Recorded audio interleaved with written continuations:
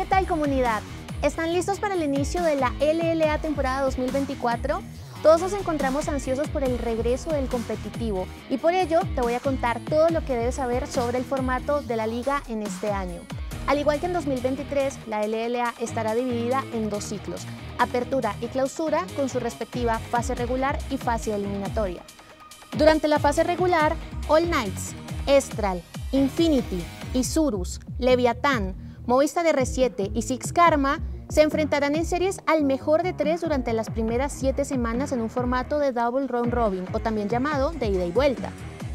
Una victoria de 2 a 0 o de 2 a 1 dará un punto al equipo ganador, mientras que el equipo perdedor no sumará puntos. Esto es importante porque marca un cambio en el sistema de puntuación respecto al año pasado. Los seis equipos que más puntos sumen pasarán a la fase eliminatoria de doble eliminación híbrida. En esta instancia decisiva del torneo, en la cual se jugará una sola serie al mejor de 5 por día, el ganador avanza en la llave superior mientras que el perdedor caerá a la llave inferior en la que si pierde nuevamente será eliminado. Esta condición se aplicará a todos los partidos excepto a la gran final y la eliminación directa entre el quinto y el sexto puesto. Y si te preguntas cómo será la ronda de eliminación, aquí te lo cuento.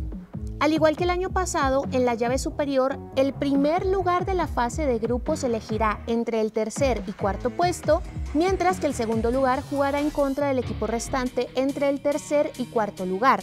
Posteriormente, los ganadores del juego 1 y 2 se enfrentarán por el primer gran pase a la gran final. Por otro lado, en la llave inferior, el quinto y sexto lugar pelearán en una serie de eliminación directa. El ganador avanzará a la siguiente ronda y el perdedor se despedirá de la competición. El peor equipo posicionado en la fase de grupos tras los juegos 1 y 2 chocará contra el ganador del juego 3. La escuadra que salga victoriosa avanzará a la partida 6, a la vez que el perdedor dirá adiós. En el juego 6, el equipo perdedor mejor posicionado en los primeros dos juegos se enfrentará al ganador del juego 4. Quien resulte victorioso avanzará a la semifinal, mientras que la escuadra derrotada quedará eliminada. Para el juego 7, el equipo que logre triunfar se convertirá en el segundo finalista de la gran final de la LLA 2024. Por si te quedó alguna duda, aún no terminamos con las sorpresas, así que para poder vivir el triple de emociones, añadiremos un tercer día más de competición durante la fase regular de la LLA. Nos vamos a ver los martes, miércoles y jueves a partir del 16 de enero. Nos vemos en la grieta y en las redes oficiales de la liga.